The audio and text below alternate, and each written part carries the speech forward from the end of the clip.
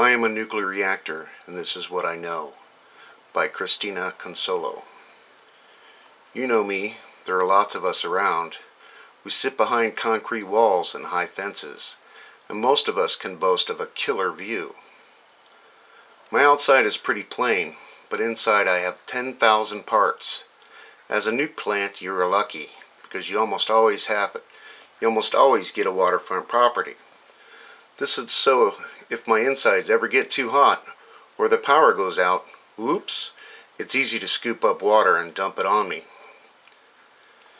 If my emergency diesel generators go out, which happens a lot, they can sometimes use fire hoses to cool me off too.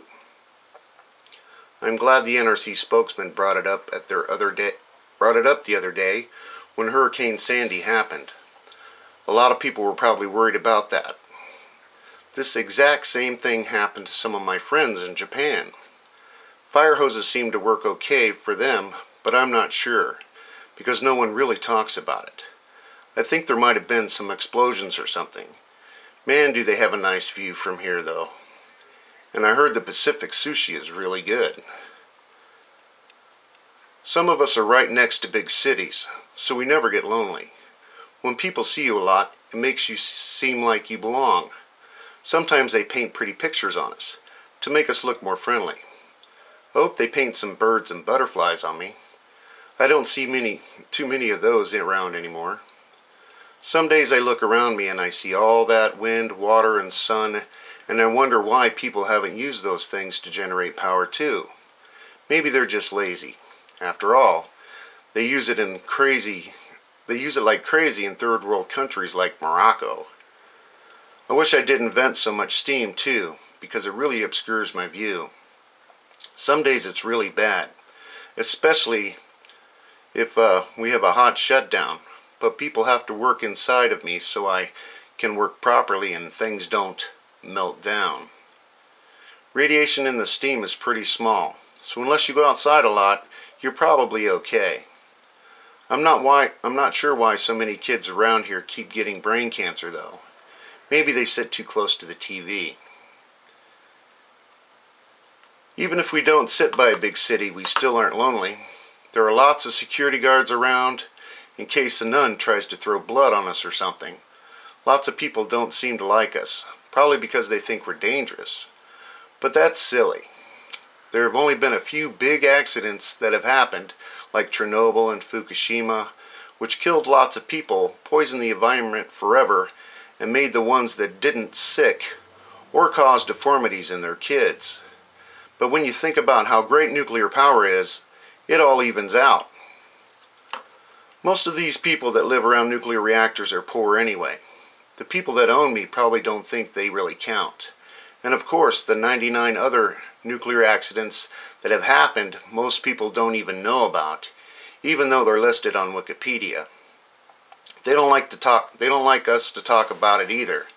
And you never ever talk about the spent fuel and nuclear waste, how precarious the fuel pools are, especially in the 23 Mark I BWR reactors in the United States. The same style as Fukushima. That freaks people out a lot.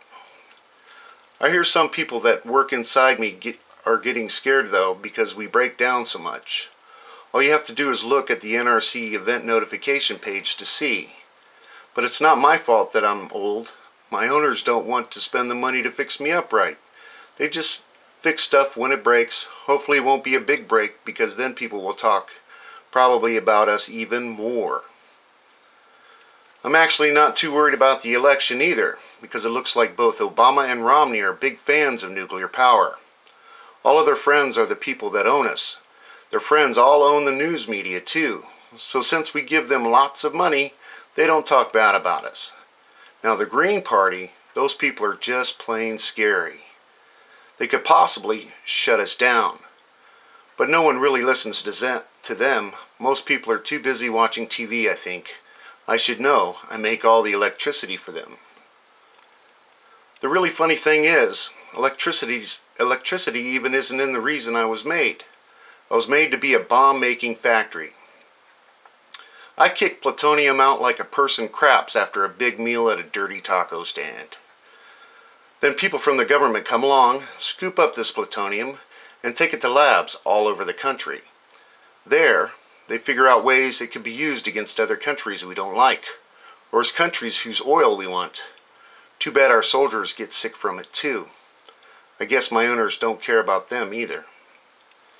Even if people got really mad at us, the NRC, who is like the babysitter that lets you get away with, with stuff your parents won't, will relicense me endlessly so I can stay here forever. So I'm really not too worried about things. I would really hate to lose this view. Maybe they will paint some fish on me too, because all the ones around here seem to be dead. Thanks, Christine. Enjoy you can.